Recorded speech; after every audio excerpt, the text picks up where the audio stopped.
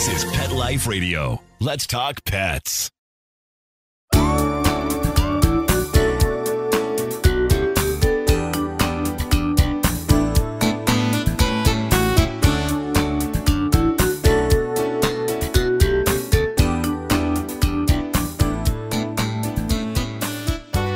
Hi, welcome to Rappaport to the Rescue. I'm Jill Rappaport, and this is my very first show on Pet Life Radio. First of all, I want to thank my dear friend Mark Winter for giving me this amazing opportunity on this incredible network to talk about the things that mean the most to me animals, adoption, and rescue. This is such an exciting moment for me, and what a great show I have today. And for those of you that don't know anything about me, let me give you a brief, well, let's hope it's brief, background on what I've been through and what I've done in my career. I started out as an entertainment reporter. I was on the Today Show for a few decades. And I've been on every red carpet known to man. I've interviewed every celebrity. I had breakfast at Tiffany's with Audrey Hepburn. I've had dinner with Frank Sinatra. I did one of George Clooney's very first interviews on a gurney on the set of ER. I got to hang out with Brad Pitt. Needless to say, it's been an amazing career and so much fun getting to know these celebrities. But it's very interesting what happened to me along the way. I got the most amazing job on NBC's Today Show. And while I was being the red carpet maven, I went to my boss one day because one of my beloved dogs, my German Shepherd Jack, was diagnosed with bone cancer. It was so devastating to me. And he had been going through treatment and I would watch him and his tenacity, his will to live. He never let the loss of a limb stand in the way of living the best life in the world. And I thought, this would be such a great story to show his recovery and how animals can teach us so much. They don't care how they look. They don't care what they're going through. They just want to be loved and out of pain. So I went to my boss and I said, can I chronicle Jack's story? I know he's not a movie star or a TV star, but I think it would really help people understand the wonderful way these animals help us and how amazing they are. He said, sure, go for it. Well, I did Jack's story I got emails from all over the world. People were reaching out to me. They were crying. They were so touched. They couldn't believe what this animal went through and how amazing he was. That day I went to my boss, Jim Bell, and I said, you know what? Stars don't need my help. Animals do. Would you give me an opportunity to switch my whole career, get off the red carpet and really focus on animal welfare? And much to my surprise, he said, Hey, go for it. Be our pet reporter. I said, well, I don't really love that title. How about animal advocate? And that is how it all began. And from that day forward, I was able to have those precious minutes on national TV on an amazing show to shine a light on animals in need. And I started the segment Bow to Wow, which ran for over seven and a half years on NBC's Today Show. We had a 100% adoption record. And from there, I was able to do my Rappaport to the Rescue segments on ABC's The View. I created what I think is, I hope, my greatest legacy, Dog Bowl. I came up with this idea because I've been fortunate enough to be part of Puppy Bowl, the amazing show on Animal Planet. And I thought, wouldn't it be great to shine the same amazing light on senior animals? Can you imagine if we could do it the same way? We're in hopefully year four now, which is so exciting that I'm able to come back and do this show, which I love so much. And now to have this opportunity to talk to you, to bring people on that love animals so much and care so much about what happens to them and how we can do whatever we can to save them. So I am so thrilled to be here. I can't believe this is my first show and what a great first show this is going to be because my very first guest is a woman that I can actually say is a true legend. I know we throw that word around a lot. Yeah, this one's a legend, that one's a legend, but Meredith Vieira truly is. I had the incredible opportunity of being able to work with her for five years on NBC's Today Show when she was the co-host. Of course, she was the original moderator of ABC's The View, the host of the original daytime version of Who Wants to Be a Millionaire, also the game show 25 Words or Less. What hasn't this woman done? But what I love most about her is her heart. And you are going to hear how wonderful she is when we come back. I am so excited to have Meredith Vieira on with me today, coming up.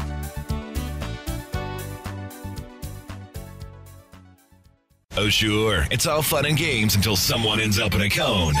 That's right. We are animals. Deal with it. Pet Life Radio. Live life unleashed. Let's talk pets on PetLifeRadio.com.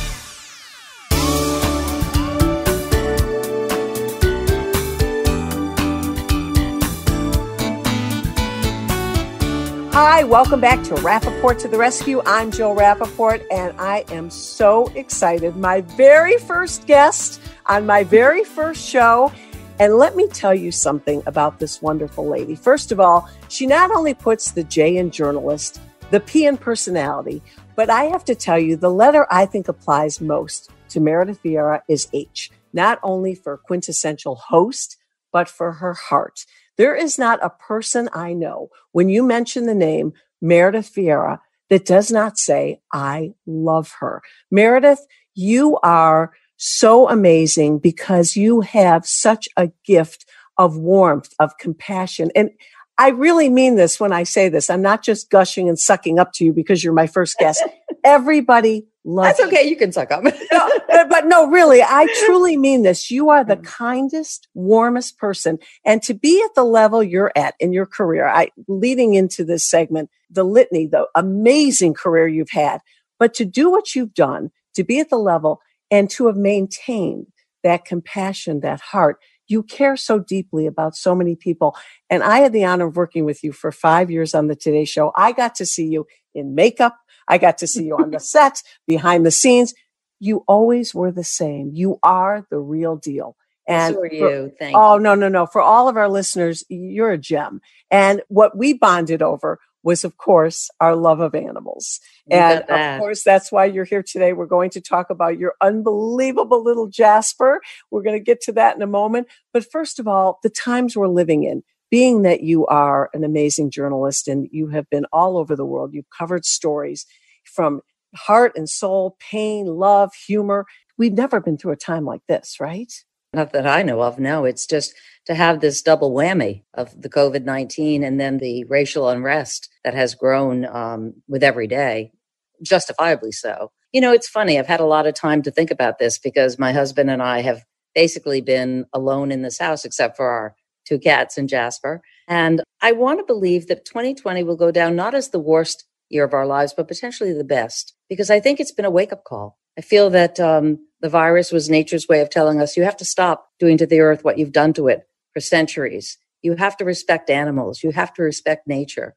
You brought this on yourself, and I'm giving you another chance to make it right. And if you don't, the results will be even more devastating. So if we can grasp the moment, if we can grab it and say, we're being told something here that's so significant, we have the opportunity to respect our world, to honor it, then we will see these kinds of situations dissipate. And the same with the racial unrest. This was a wake up call, long coming. You know, um, George Floyd was not the first. He won't be the last. Uh, you know, I have many friends who said to me, "What are you really surprised by this?"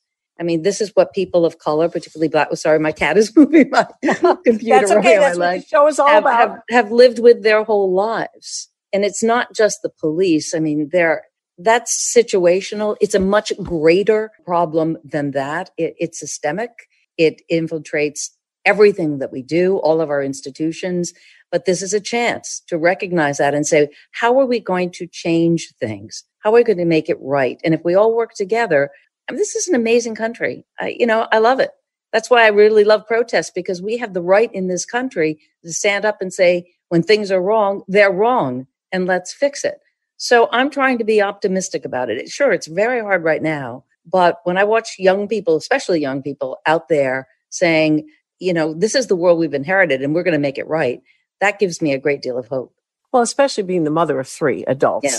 And, you know, I started watching you and really looking up to you and uh, wishing I could be you on West 57th, you know, when you were the Cub reporter on CBS's yeah. show. And I remember thinking to myself, there was something in your voice. There was a passion and you had such intensity and you always did stories, obviously with heart, but had a meaning and a message. You've been driven your whole life to try to make and help change and move forward.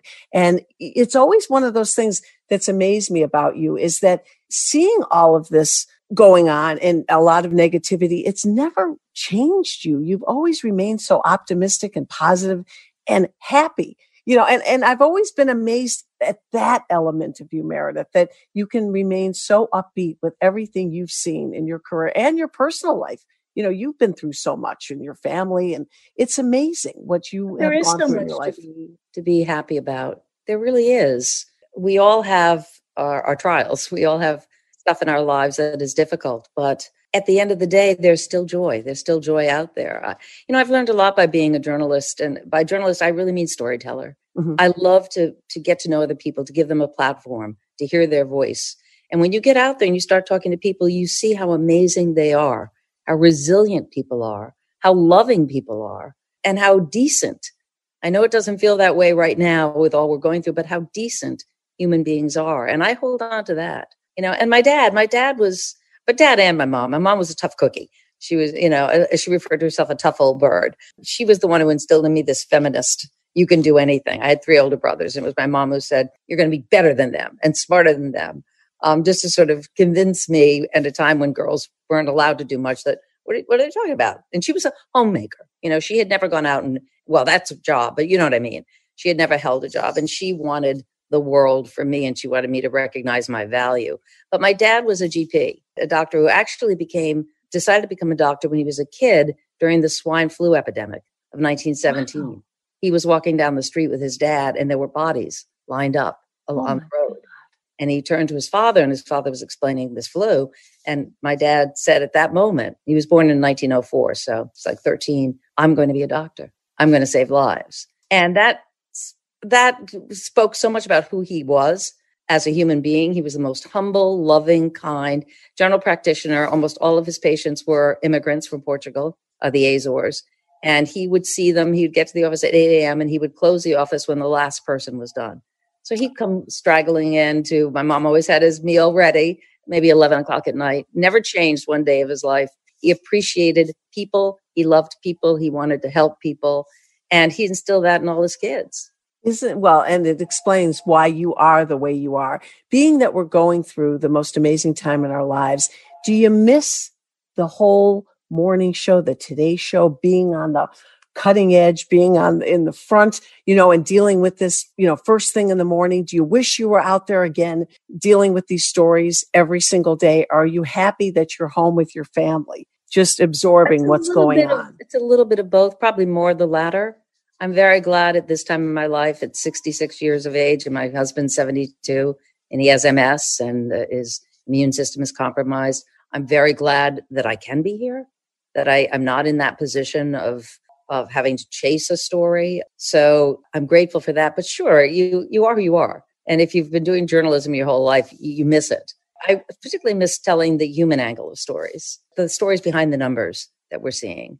So that's unfortunate. But there were many ways to get your voice out there. Um, Right. That's one. Well, you know what's amazing though? It's like to see that you were the host on the Today Show for five years and then you went and did a game show. You know, you have two sides to your personality. You've got the journalistic side and then the goofy, fun, just impetuous Meredith side that we all love and know so well, which I think is what people love about you so much. You know, you've got both and you really take advantage and enjoy both sides of your personality and really have pursued that in your career. Well, my nickname growing up, um, my brother Jeff is uh, 13 months older than me. So he couldn't pronounce my name Meredith. So he'd say Meredith, Diths. And then my mother shortened it to Ditz, and then it became Ditzy. And I sort of grew into that name, if you know what I mean, because I, I am love it. yeah, but you know what? Your personality is what everybody loves because, you know, when you're a very serious journalist and they see you on the roll and the talk show host, and then also obviously on the Today Show, they expect you to be very serious in real life. And you are so not like that. You are zany and fun and lovable.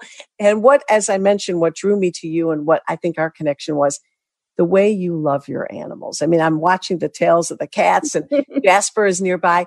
You Can I let my other cat in because she's crying? Uh, Absolutely. Go let her in. That was Sweet Pea. Sweet Pea and Felipe are brother and sister. My dog was a sweet pea. my Oh, Okay, so we have to talk about an experience you went through with your beloved Jasper just last week. Right there, Jasper is 16 years young. Unbelievable. I've known Jasper for when you used to bring him on the Today Show all the time. this dog is hilarious. He's got, he reminds me a lot of you. He's zany, he's funny, a little neurotic. And you know what I love about him? The personalities. He's a little neurotic. Wait, let's back up for a minute. a little neurotic in a good way. But you know what? He oh, reminds me, the two of you have very similar characteristics, right? And I think that's what your bond is all about. You adore Jasper. I do. You? He looks a little like Richard, actually. He's got the bushy eyebrows and the whole thing. And 16 years old, bless his heart. June 2nd was his birthday. Yep. 16. But what the listeners, I think, are going to really be shocked at. You went through the most horrifying experience last week. Tell us what Jasper went through and what happened to you. Well, we have an invisible fence in our yard you know, so Jasper's trained not to go through it, obviously. Um, we had the door open, so he and the cats, they come in and out. And I had gone for a walk with a friend. And I came, and Jasper at 16, he really doesn't wander at all anymore. He just goes out. We have a little courtyard and he'll lie in the sun right. and then come back in. So I came back from my walk. I was gone about an hour and I was sitting in the courtyard. I was on the phone and I sort of looked around and I noticed he wasn't sitting there, but he probably was in the house. And then I looked at the doorway and he was standing there rigid, just staring, looking at me. And I walked up to him. I thought, okay, well, what's going on here? And I noticed that his fur was matted and I went to touch it on either side, the back area. And he went to, he snapped at me, which he never ever does. And so I knew something was up. And then I got a damp cloth to see if it was blood. I, I wasn't sure. And I realized very quickly that he had two very deep wounds. Uh, and I called my vet, and the vet said, okay, uh, let me see a picture. And I snapped some pictures, which you can do now with all these gadgets that we have. He said, you need to bring him in right away.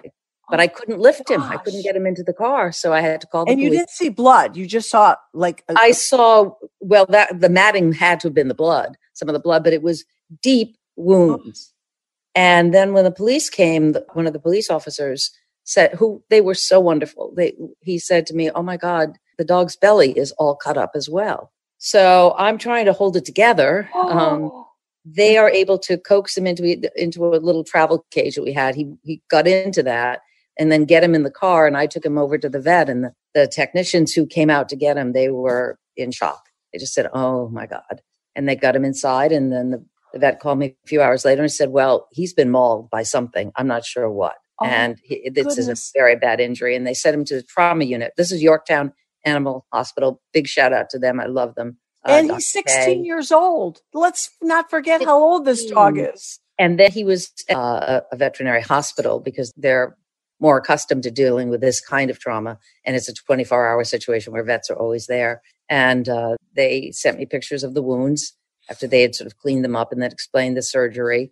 And I remember, I mean, I, I had that conversation that you never want to have where yes. I said, you know, don't don't do this for me. If Jasper's meant to live, if his quality of his life is going to be good, then let's go for it. But I do not want to. I owe him that much, you know. So um, to do the right thing for him, and the the vet said, no, no, no, no, no. This is a tough guy. This guy has such will. I've never seen anything quite like this in an old dog. And so they did perform surgery. He has so many staples. Looks a little like Frankenstein, you know, he's like so many, but uh, he's doing, he's doing really, really well. The concern now is the, the some of the skin may not come back. It'll turn sort of black. You know about this sort of stuff. And right. then they have to do another surgery to get to the baby skin underneath. But I mean, everybody's extremely optimistic. He's eating like crazy. He goes for walks. Our black cat Felipe and Jasper have been best friends forever and uh-huh. and he knows something both do but particularly our black cat felipe knows that something's up.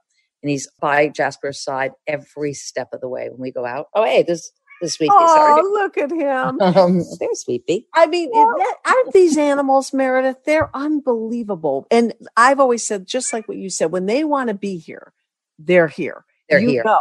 When, yes. they, when they want to check out they go off on their own they stop eating you can tell it's a look in their eye. They stop looking at you. exactly. Over.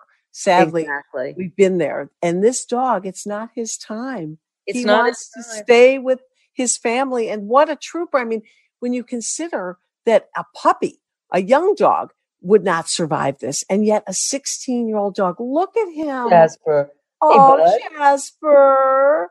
He Oh, has this little uh, thunder shirt on. I was going to say, and he doesn't look like he's missed a few meals. no, he came back pretty, pretty thin, but um, he's eating a lot. He and I'm making great. chicken and rice, and I, I just signed up for You're spoiling him. yeah, a much healthier version of food. I mean, the one he had was great, but there's more variety, and I, I'm spoiling him. Yeah, exactly. he you know, deserves it. When we were talking on the phone, you said the one regret you had is that you didn't get pet insurance, which a lot of people don't even think about, right? No, they don't. And I, you know, I should have because we had a dog that had some issues way back when it was hit by a car and uh, it was terrible and that cost a great deal of money to to heal his injuries but at that point i should have thought the next time i will and i didn't and the bills for jasper are almost $14000 Right. And see, this is why, And sadly, i mean i'm lucky i'm lucky i can afford it but that's you know think about that for most people. for most people. that, that's why we have the situation in the shelters across the country. People, I've been in my vet's office. I was there a month ago where somebody came in and they said, We really think we have to give up our dog because we can't afford the antibiotics. yeah And I said, How So- can I help you? Please let me donate to you. That's what happens. The bills are so astronomical. But even basic things like a bladder infection, Totally. Can't afford. So major surgeries, I know when I lost my Ruby on March 2nd, she was only in the emergency room and she had to be under oxygen and everything. She was there for less than 10 hours and it was between the local vet and then the emergency room almost $3,000. yeah i'm sure So, I'm and sure. And- you know, and- you would- we would do anything to save our pets, but if you've got a family and you've got to put food on the table, this is the problem, right, Meredith? And what kind of a, de- how hard a decision is that to make? Yeah. You know, bef- Right. because of financial. Yeah, so it really is. It's such a dilemma for so many people. And I go into shelters all the time, and the reasons they're given up, it's just horrifying and it tugs at your heartstrings. It keeps me up at night. I wish I could take them all in. I have five now, and I look around and I think, what else can I do? You know, getting the message out with this wonderful network with shows like this. But what people need to understand is the joy and the love they get back. When you take in an animal in need, one that was dumped, tossed, abandoned for whatever reason, and you give them a second chance at a new life, they not only thrive, but I know personally speaking, they've changed my life forever. Each one of my dogs has added a dimension to my life that I wouldn't have gotten from a human being. I can honestly say that because I haven't. And you know from your animals, and you're the mother of three human children, they give you something that is so magical and so wonderful, right? Well, it's that unconditional love. And when you take in an animal that has not had a good life too, they know. They know that you've helped them. And they're so they're grateful. You know, they they want to be loved and they want to love. I think animals, it's just what they are. They're not like people, you know. and, and and you sense that and i mean i felt that with all our pets and i also see like with jasper the way he has faced um this latest situation you know with with determination and guts. He's a feisty guy. I have i have a lot to learn from him about the will to live and determination and they believe that it was a lone coyote. That's what they think because of the extent of the damage done and and the vet said well think of the coyote jasper probably really beat the whatever out of him because he left um I- mean, when that. you think that he survived it, if it really was a coyote, Jasper's not a really big dog. He's a little No. guy. This is unbelievable.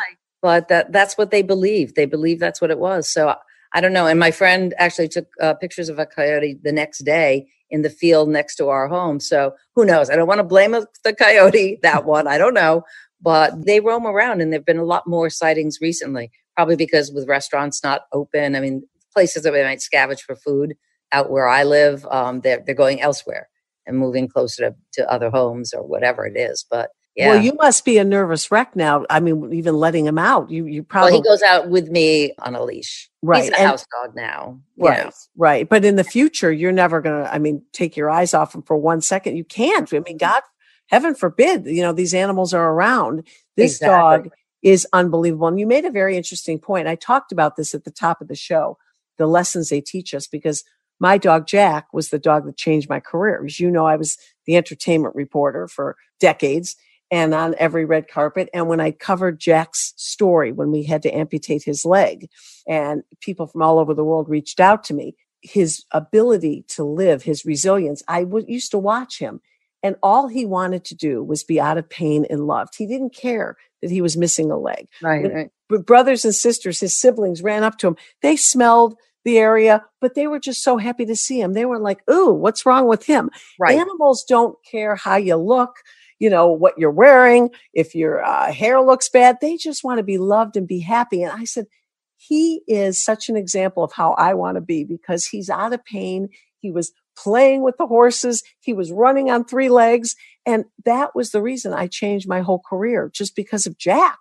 And I just try to tell people all the time, if you observe your pets, you can learn the most important life lessons from our animals that if we incorporated those lessons, we would be such better people. I love a saying. Someone once got me a needlepoint pillow that said, be the person your dog thinks you are. Oh, that's a great saying. Right.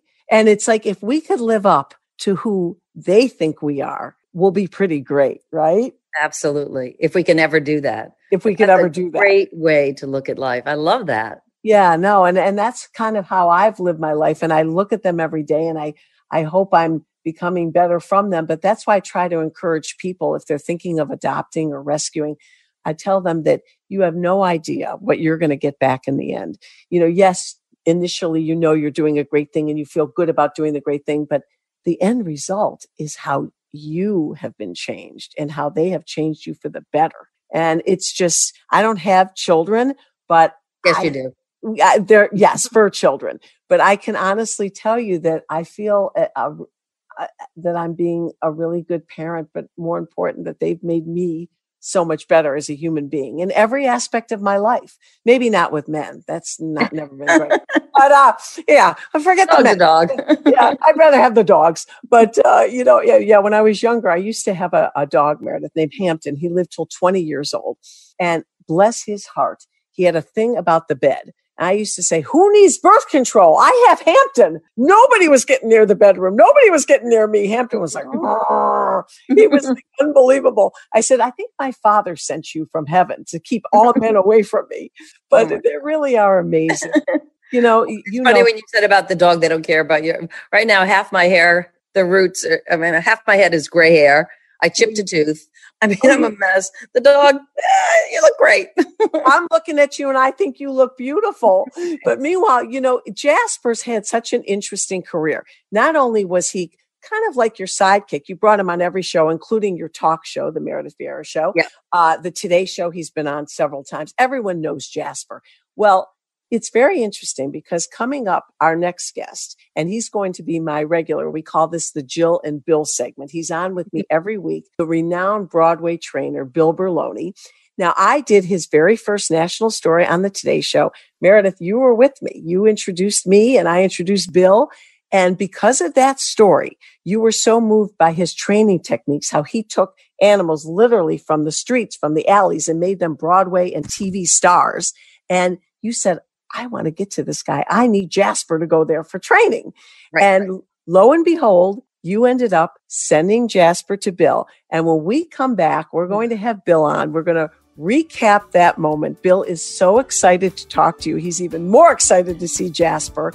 He was just so unbelievably shaken when he heard what happened to Jasper, but he actually got to live with your wonderful dog for a period of time. So when we come back, we're going to have Mr. Bill Berloni on and Meredith Vieira and Jasper, and we're going to recap those wonderful memories. Stay tuned.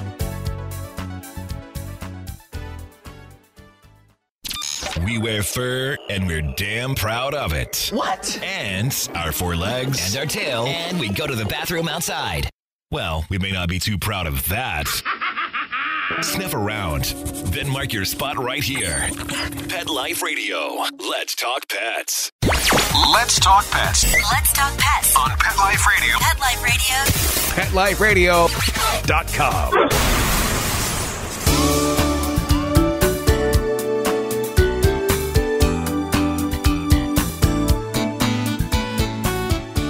Welcome back to Rappaport to the Rescue. I'm Jill Rappaport, and if you've been listening, you've heard my wonderful very first guest, the amazing Meredith Vieira. And now I'm joined with my regular partner in crime. This is the section we call the Jill and Bill section. Jill and Bill. The wonderful Broadway renowned trainer, Bill Berloni, and Bill and Meredith have a past. How's that for a tease? Meredith, why don't you talk about how you first met Bill? And what happened with Jasper? Well, I met him on the show, on the Today Show. You brought him in, and and I just really liked him a lot, and he, the work he did with animals was amazing. And we had sort of a Jasper's a great dog, but he had some issues. the worst, Bill, correct me if I'm wrong, but I, I think the worst in my mind was the barking. He was just an incessant barker, and it was driving us nuts. And we had tried other ways of um, getting him to stop all sorts of things. And I asked Bill if he thought he could help, and he said yes. But I don't remember, Bill, exactly how he ended up going to you to live with you. Because originally you came here, right? And just you met him and had suggestions. Well, I remember, Meredith, you were so good with him, but the rest of the family wasn't always following the rules. That's right. So I thought it'd be easier to bring him here, teach him some new manners for a little while, you know, and then bring him back. And so, so how did it go? Did you help him? Yeah, I mean, we did. He came here. He got along with all our other dogs. He was so great with us. Um, and then I think when he went back, it it worked for a while. Meredith kept it up, but then he slowly slipped into his old habits. Love that bird, Kevin. It's great. Isn't that great? I was going to say, I think you got to do some training on that bird. Do you ever get him to quiet down a little bit, Bill? no. Jasper got really attached to your wife. Remember, yes. you said he would yeah. always be with her. It's like of, with you, like he yeah. was attached to you. I don't know if you know this, and we talked about this earlier in the show. Jasper had a horrifying experience last week. He was literally attacked. They Meredith thinks by a coyote. Not only think. has he survived, the dog is 16 years old and he's thriving. Can you see him? I, Look at him there, Bill. Yes. Is Hi, this Jasper? is this a miracle dog or what? I know. Well, again, he's lived this long because of the, the love of the family and the will to live. Bill, mm. talk about that. I mean, for an animal to survive something like this, there's so much of it is emotional with these animals. When they want to be here, they want to be here, right? Yes. And the fact that he's a mixed breed, you know, he doesn't have one particular trait. He has all the good traits of all dogs. He doesn't want to leave his family. He's not ready yet, you know, and he's going to protect them to the end. I mean, those are predators, and he tried to protect himself and the family. Well, and there's nothing you can do from a training standpoint. I mean, Meredith eh, obviously is hand walking him now, but even if you take your eye off your animal for one minute, you, there's no way to protect or train an animal for that, right? What could you do? I mean, you can't put any domestic dog against any wild wolf type predator. I mean, they're going to lose. And it's a natural instinct for them to protect their home. So, no, you really can't teach them to ignore danger. They're too good hearted. Well, then was the answer, you know, we have an invisible fence, as you know. Yep. Is the answer to assume that won't stop something bad from happening and maybe every dog outside should be on a leash? You know, as coyotes and bears and all sorts of critters are moving into our residential neighborhoods, I would recommend that just to be safer, you know. Yeah.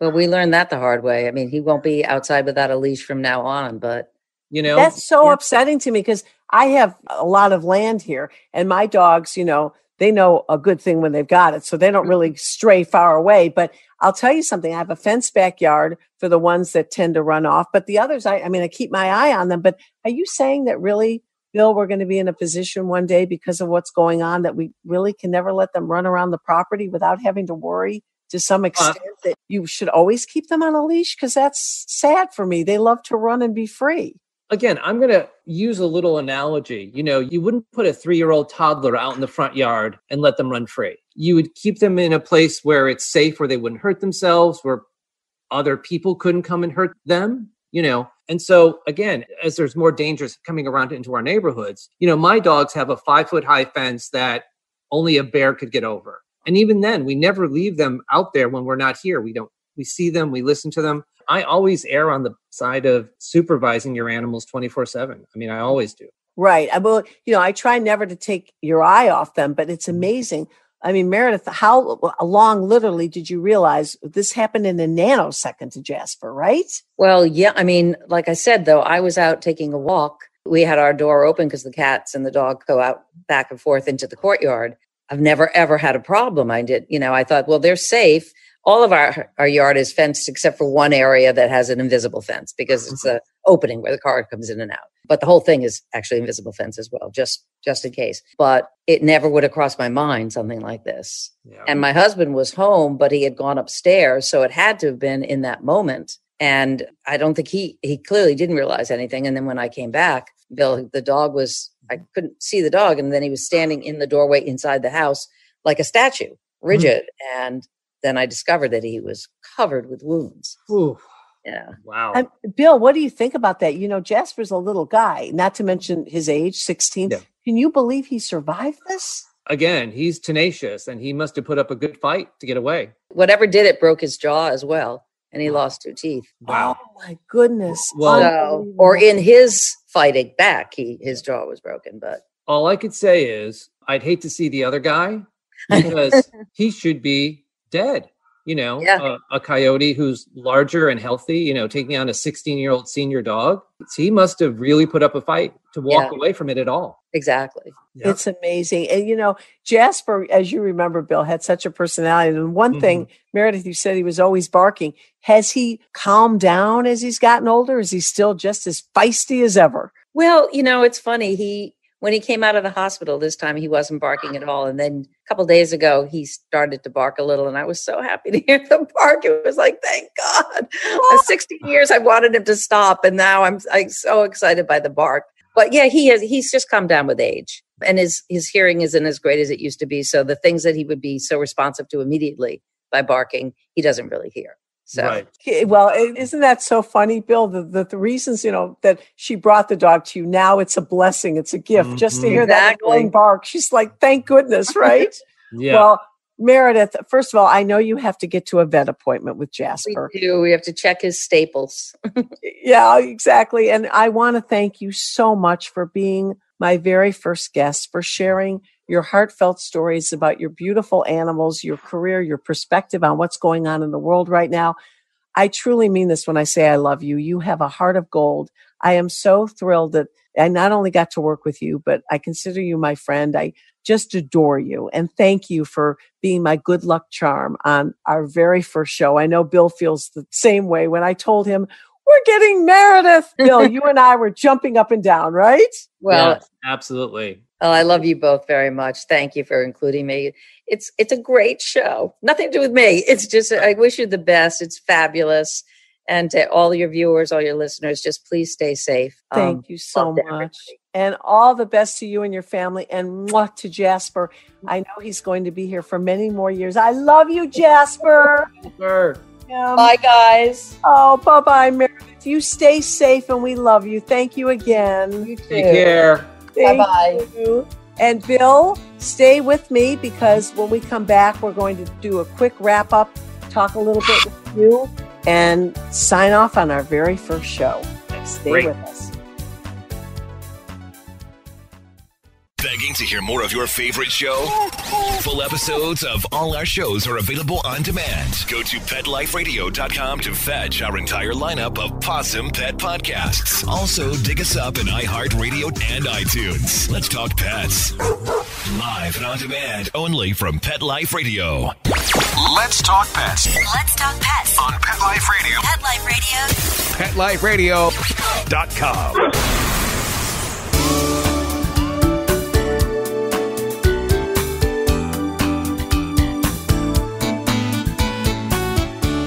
Welcome back to Rappaport to the Rescue. I'm Jill Rappaport. We just finished with the wonderful Meredith Vieira. My partner in crime, Bill Berloni, who will be joining me every week, is still here. Bill, so happy we finally did it. You're here. It's our first show. And for those that don't know what you've done, first of all, you're a Tony winner, but not because of your acting. You're a Broadway legend in your own right because of what you've brought to the Broadway stage in terms of four legs. Mhm. You have taken the most unbelievable situations, animals in need, to a whole new level, and you've made them superstars. And that's why when I had this opportunity to do this show, I couldn't think of anyone else I'd rather be with than you because you have done such incredible work for animals in need and made them literally household names in their own Mhm. right, right, Bill? Yep. And you've done the same with Rappaport to the rescue. You know, you were doing it on the Today Show. So we both were doing it in separate mediums, but with the same goal in mind. And you know, I know you said there's other people doing similar things to what you're doing, but there's no one doing what you're doing. Let's be honest. You were the first, you're the original, you're the only one. And you've done it in a way that is so unbelievable because when somebody calls you and say, we need a dog for a Broadway show or we need something right away for a live show, you're there and you deliver. And let's be honest, you're relying on an animal to come Mhm. through for you, which Yep. shows the ability and the talent you have to cast these animals. A lot of times the call will come through and I'll go, no, you can't do that. And they'll be like, but we want to. I'm like, I'm sorry, that would be inhumane to animals to do it that way. And now, if they're willing to do it the correct way, we rethink it so that it's pleasurable for the animals, which is what my philosophy has always been. You know, we want them to be happy, we want them to enjoy with their life. So I want them going to the theater. Um, they want to look forward to it. They want to see all their friends. They want to have a good time. And that's what the audience sees. You're really about fur first. It's not about the gig. It's Nope. not about the job, the paycheck. If it's not good for the animal, you're taking a pass. Exactly. Exactly. And that is why it's so important to have people like you to protect them. Because let's be honest, they've been in situations where they're not always looked out for in the best way. And they need advocates like you because Mhm. people think, wow, that dog's going to get on the Broadway stage. Let's do this at any cost. And that's happened. Let's be Yeah. honest. Oh yeah. Oh yeah. And you know, five years ago, a Discovery came to me to do a reality show about us, and um, I agreed. And basically, because I I have nothing to hide here at the house. You've been to my house. You can bring cameras in. You can see the way we live. You know. Whereas, have you ever seen the homes of other animal trainers? Did you ever see where Lassie lived or Benji? My thought would be there was probably something they didn't want the general audience to see. So if you can't be transparent and you're transparent, you know, just like me. So I think that's a sign too. You know, if you're not afraid to show people where you live and what you do. He has taken animals for the most unbelievable situations, dire situations. He has taken strays from shelters, from the streets, and he has turned them into Broadway stars, TV stars. What he has done is truly miraculous. And he was the first to do it. And I believe, Bill, you're the only one doing it. Am I correct? There are a couple other trainers who do work in and around that, but you know, for the most part, when they need an animal to play a part on Broadway, they call me. You're the guy. You're the go-to guy. And what's also amazing is that the whole Broadway community has embraced you so much. Just like everyone in the journalism world, in the news world adores and loves Meredith Vieira, not to mention her gazillion fans around the world. Everyone in the Broadway world adores you because they know, just like Meredith, you're the real deal. You care so much. You care so deeply. And I want the listeners to understand that this isn't just a job for you, that you go to work and then you come home. Those animals become your family for the rest of their lives. You take them in, you train them. They hopefully go on the stage, they go on to fame and fortune, but they always remain with you for the rest of their lives. How many animals do you have at home right now? Currently, we have 25 dogs, three cats, Kevin, the A macaw. partridge in a pear tree. Oh, go yeah, ahead. a whole barn full of horses and pigs and donkeys. So quite a few. and they stay with you forever. There's Right. no animal that you say, oh, you know what, this isn't working out. When you find them, they're part of the Berloni clan, right? Well, as rescue advocates, what do we say? We need to give them forever homes. So whether they're working or not, every animal deserves a forever loving home.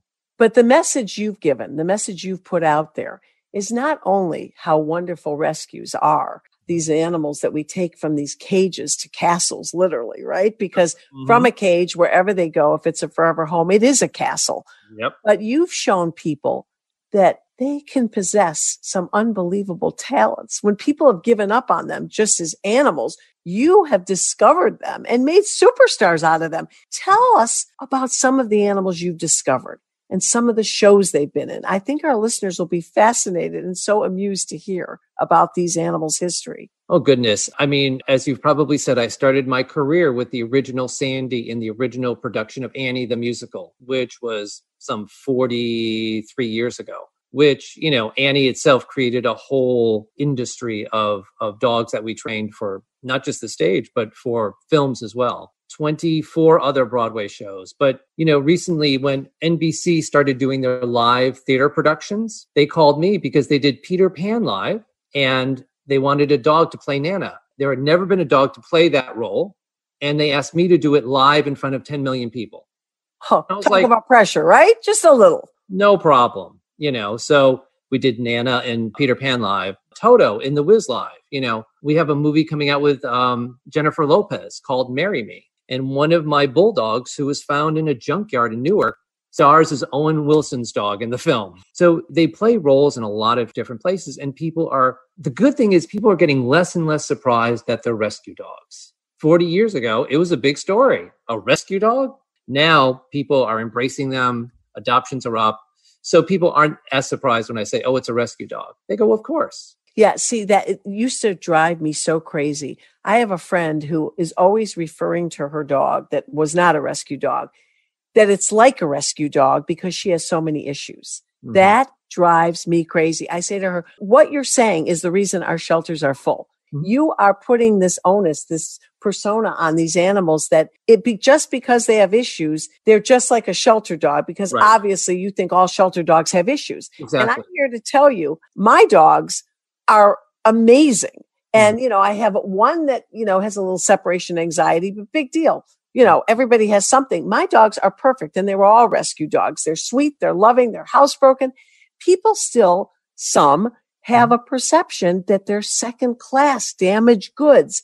And what we have been trying to do, you and I, Bill, mm-hmm. ad nauseum, is educate people that that is quite the opposite. And you've proven that in your work. I've tried to show mm-hmm. people how wonderful these animals are, but well, how do we get people to get over that misconception? You know, by doing shows like this, Jill, you know, when you interviewed me for the first time on network TV, we became fast friends because we shared the same goal. We wanted to educate people about rescue animals. And over the years, we've done benefits together. And so I'm so excited that we finally have a show together where you and I can join our voices and talk to people and show people that, you know, rescue animals aren't damaged goods. And the one thing about you that I loved from the very second I met you, when I say the real deal, and I said it earlier, you know, you go into the Berloni home, your wife, Dorothy, your beautiful daughter, it truly is Noah's Ark. It's unbelievable. And the love and the care and compassion.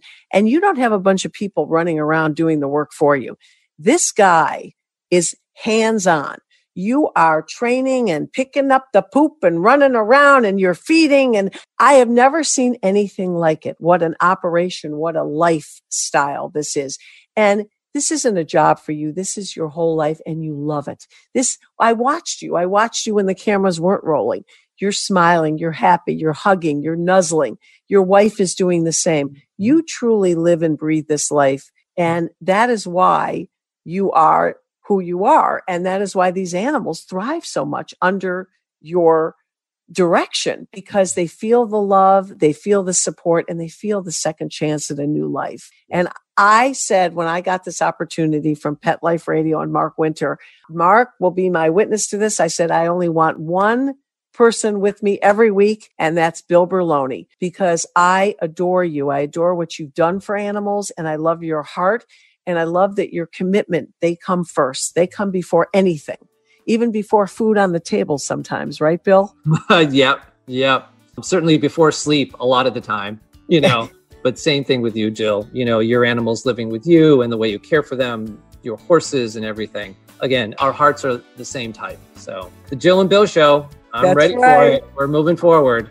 And congratulations, our very first show. And I want to dedicate and close out this show and dedicate it to my beloved Ruby, my Moxie Doxy, who I lost on March 2nd. She was one of my six beloved rescue dogs, and she changed my life forever, like they all do. So, this show is dedicated to you, my beautiful Ruby. Bill, here's to many, many more. I am so excited and so happy that we have begun this journey together. And for all of you listening, thank you so much for tuning in to Rappaport to the Rescue. We hope you've enjoyed it. There'll be many more wonderful guests and shows and topics to come. Please stay safe and keep a positive attitude. Let's Talk Pets every week on demand, only on PetLifeRadio.com.